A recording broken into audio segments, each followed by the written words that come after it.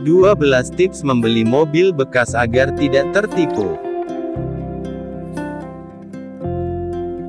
Tips membeli mobil bekas memang tak semudah yang dibayangkan, sebab harus melalui proses yang tepat. Ada banyak keuntungan membeli mobil bekas dibanding mobil baru. Salah satunya adalah kamu bisa langsung menggunakannya. Dan yang paling penting adalah harga jual mobil bekas tentunya lebih murah dan tidak perlu khawatir dengan harga pajak yang begitu mahal. Karena setiap tahunnya ada kemungkinan pajak tahunan dapat berkurang tergantung dari berapa harga pajak kendaraan baru yang dimiliki. Apalagi bagi kamu yang memiliki simpanan uang tak begitu banyak, mungkin membeli mobil bekas menjadi pilihan daripada harus membeli mobil baru dengan harganya lebih mahal. Tapi apakah tepat jika ingin membeli mobil bekas dalam kondisi seperti saat ini? Perlu diketahui, meski dapat menghemat pengeluaran, ada sejumlah tantangan tersendiri saat membeli mobil bekas. Tentunya, membeli mobil bekas tentu harus penuh dengan kehati-hatian. Terburu-buru dalam membeli bisa mengakibatkan kerugian di masa yang akan datang.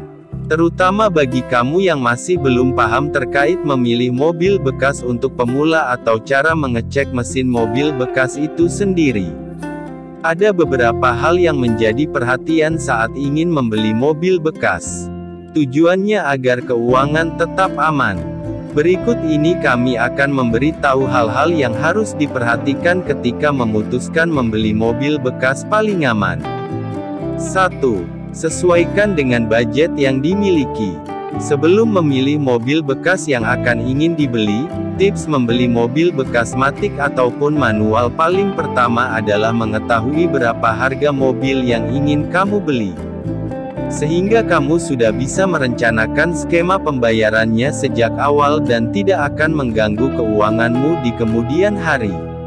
Ada dua cara yang bisa dilakukan, di antaranya, kredit mobil bekas. Tips membeli mobil bekas online maupun offline dengan kredit yang wajib kamu perhatikan adalah berapa bunga yang dibebankan.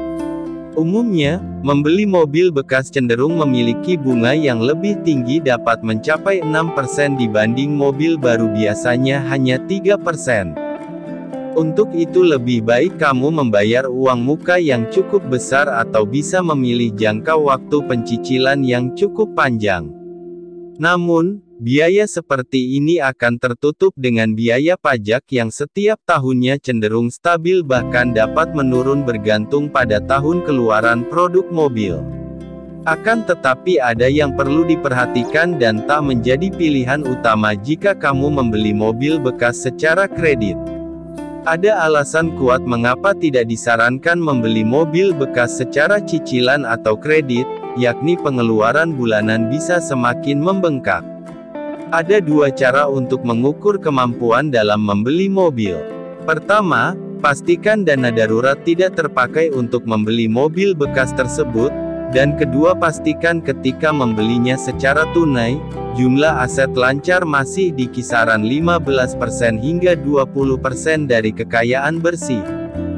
Dana darurat di sini merupakan dana tunai simpanan yang dapat digunakan hanya pada kondisi darurat, seperti apabila terjadi pemutusan hubungan kerja atau salah satu anggota keluarga mengalami kecelakaan atau sakit berat. Perhatikan juga cicilan per bulannya. Pastikan juga angsuran per bulan tidak melebihi 35% dari pemasukan bulanan, dan total utang tertunggak tidak melebihi 50% dari total nilai aset.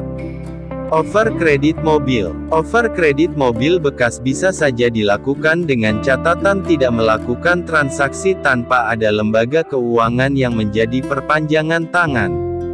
Umumnya, di kemudian hari jika melaksanakannya tidak sepengetahuan yang berwajib, kesulitan yang ditemukan adalah saat pengurusan dokumen rentan akan mengalami kendala. Over kredit di bawah tangan memang terlihat lebih cepat, namun masih lemah dari segi hukumnya. Tindakan ini pun sebenarnya merupakan perbuatan yang dilarang dalam undang-undang. Undang-undang overkredit mobil ini terikat oleh perjanjian jaminan fidusia dalam Undang-Undang Nomor 42 Tahun 1999 tentang Jaminan Fidusia UU Fidusia. Pada pasal 23 ayat 2 UU Fidusia menyatakan bahwa pemberi fidusia dilarang mengalihkan, menggadaikan, atau menyewakan kepada pihak lain benda yang menjadi objek jaminan fidusia yang tidak merupakan benda persediaan, kecuali dengan persetujuan tertulis terlebih dahulu dari penerima fidusia. 2. Lakukan survei secara langsung sebelum membeli. Tips membeli mobil bekas online yang paling penting adalah melakukan survei tempat. Survei tempat bisa dilakukan ke dealer offline.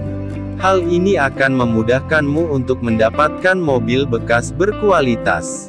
Sebaliknya, jika hanya memeriksa ketersediaan via website atau secara online, ada potensi terjadinya penipuan kondisi mobil yang cukup tinggi. Untuk itu, ada baiknya mengecek secara online maupun offline untuk memverifikasi ketersediaan mobil yang ada. 3. Teliti siapa penjualnya sebelum transaksi. Pembeli mobil bekas biasanya tidak sabar dan cenderung terburu-buru dalam mencari mobil yang telah diincar, padahal yang baik adalah mencari dengan sabar dan teliti. Hal ini agar pembeli mendapatkan mobil bekas yang sehat dan prima. Tak hanya itu, pembeli juga harus teliti terhadap identitas penjualnya sebelum melakukan transaksi. Sebab, ada kemungkinan terjadinya penipuan entah uang dibawa kabur atau kejahatan lainnya. Jika memang merasa cocok dengan mobil yang menjadi incaran ada baiknya kamu menjalin hubungan dengan penjual untuk memverifikasi informasi mobil yang dicari. Sebab, ada beberapa mobil yang dijual dengan cara dititipkan di dealer. Karena itu, coba cek dan recheck mengapa mobil ini dijual, Mengapa mobil dijual dengan cara dititipkan? Banyak juga langsung negosiasi dengan penjual. Namun ada baiknya lihat dulu mobil yang dicari, kemudian baru melakukan penawaran. 4. Tips membeli mobil bekas, cek kondisi eksterior mobil. Tak hanya penjualnya, hal yang perlu mendapatkan pengecekan selanjutnya adalah pada bagian bodi dan eksterior mobil. Kamu perlu memperhatikan setiap komponen bodi mobil, apakah masih terlihat dan dapat berfungsi dengan baik. Jangan lupa, perhatikan juga jika ada bekas perbaikan atau kualitas cat yang tak merata. Pastikan semua komponen bodi masih dalam keadaan lengkap. Detail lainnya yang biasanya terlewat adalah pengecekan pada celah bodi dan kondisi ruang mesin serta kolong mobil. Berikut ini beberapa komponen-komponen detail yang wajib kamu cek sebelum membeli mobil bekas incaranmu. Bodi mobil. Pastikan mobil tidak mengalami modifikasi berlebihan pada struktur, warna atau mesin di dalamnya. Hindari juga memilih mobil yang sudah dimodifikasi jika memang berminat untuk menggunakannya demi mobilitasmu. Ada baiknya cek komponen yang baru diperbaiki, karena bisa saja menjadi bekas tabrakan atau baret indikasi kecelakaan. Mesin mobil. Buka kap mesin dan coba perhatikan jika mesin tidak terawat biasanya sisa-sisa debu akan terlihat, kemudian, bunyikan mesin 5-10 menit dan buka kap untuk mendengar apakah suara mesin halus atau tersendat. Jika tersendat, maka ada kemungkinan mesin mobil tidak berfungsi dengan baik. Kamu juga bisa melihatnya dengan mengecek warna asap mobil yang dikeluarkan. Aki dan cairan mobil. Aki yang berfungsi untuk menyuplai daya listrik bagi komponen-komponen yang ada di dalam mobil. Tips membeli mobil bekas online maupun offline kali ini adalah memastikan bahwa mobil yang ingin dibeli akinya tidak soak. Biasanya ditandai dengan lampu mobil yang nyalanya tidak seterang biasanya. Begitu juga dengan suara klakson yang nampaknya mulai pudar. Suspensi Suspensi mobil yang bermasalah terlihat dari mobil yang tidak berimbang alias miring. Umumnya, disebabkan karena mobil sering mengangkat beban yang berat. Dan bisa juga setir mobil menjadi cenderung lebih sulit dikendarakan dalam keadaan rendah. Hal lain yang bisa diperhatikan adalah saat menutup bagasi belakang mobil. Ketika mencoba menutupnya, kamu melihat mobil cenderung berayun-ayun, maka ini bisa jadi disebabkan karena suspensi mobil yang sedang rusak. Ban mobil Persoalan ban mobil yang kempes kelihatannya sepele, namun jika terlalu sering diabaikan dapat merusak suspensi mobil.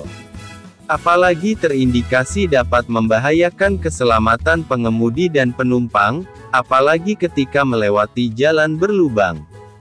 Jadi, jika menemukan ban mobil yang kurang beroperasi dengan baik, maka pertimbangkan kembali untuk membeli mobil bekas tersebut.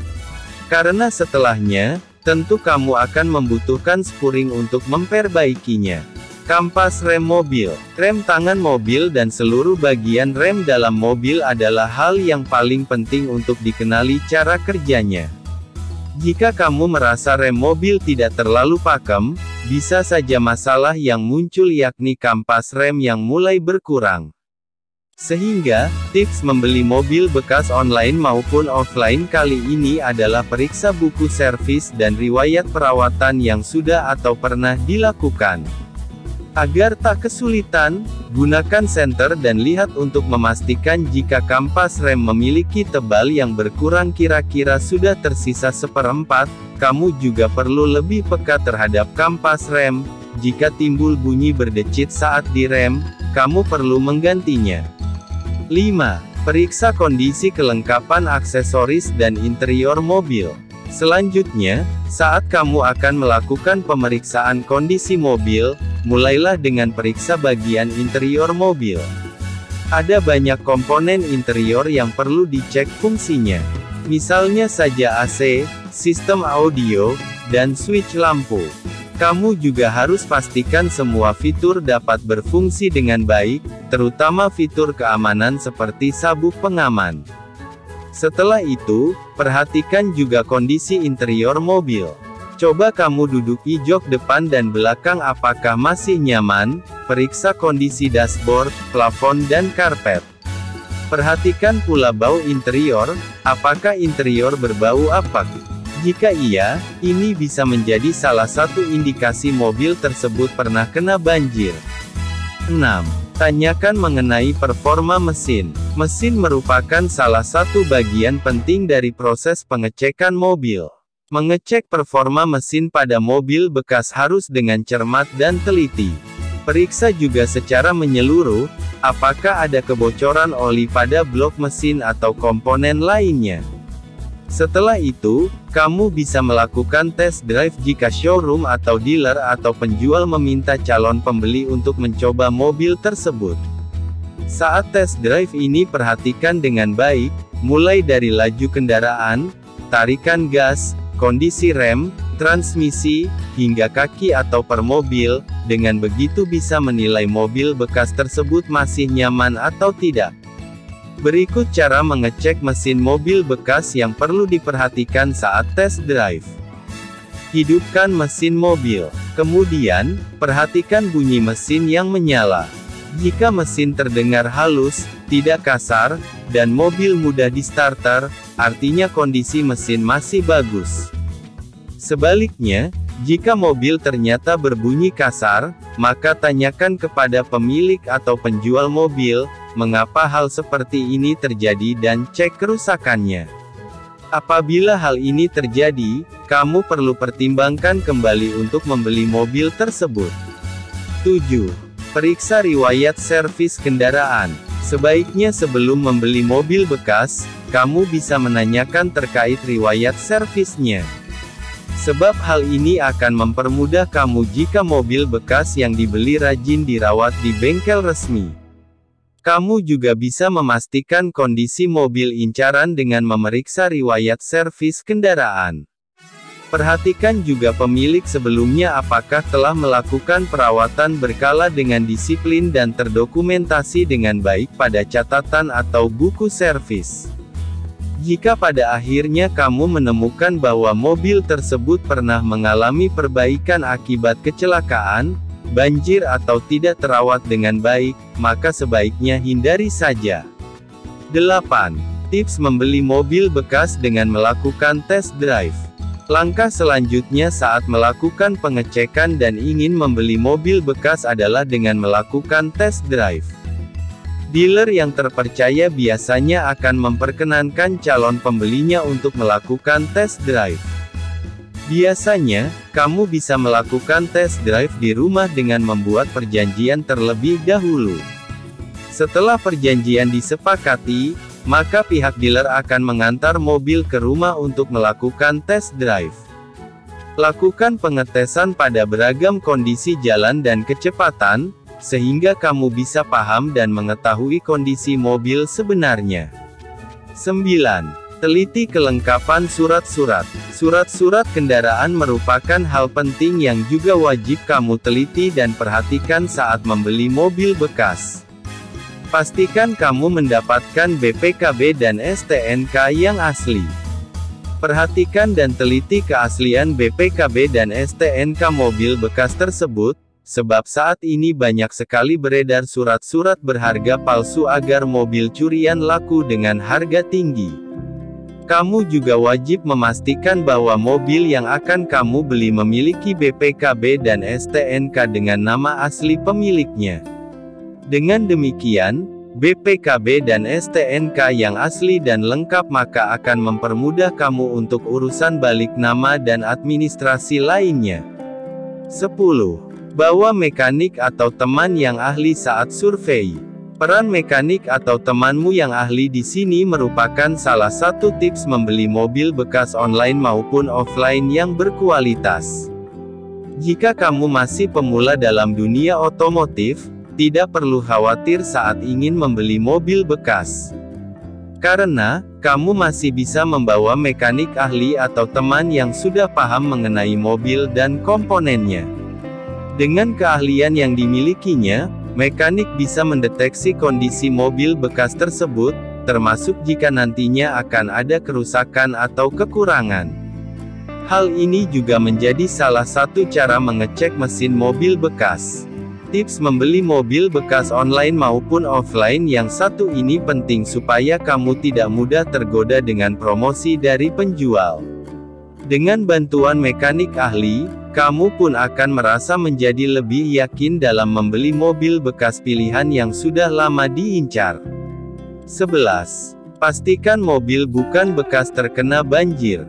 Kamu juga harus memastikan bahwa mobil bekas yang akan kamu beli tidak pernah terkena banjir. Hal pertama yang bisa dilakukan adalah tanyakan kepada pemiliknya apakah mobil tersebut pernah atau tidak terkena banjir. Lalu, periksa seluruh bagian mobil apakah ada ciri-ciri yang menandakan bahwa mobil tersebut pernah terkena banjir atau tidak. Untuk mengecek apakah mobil pernah terkena banjir, maka periksa bau interior apek atau tidak.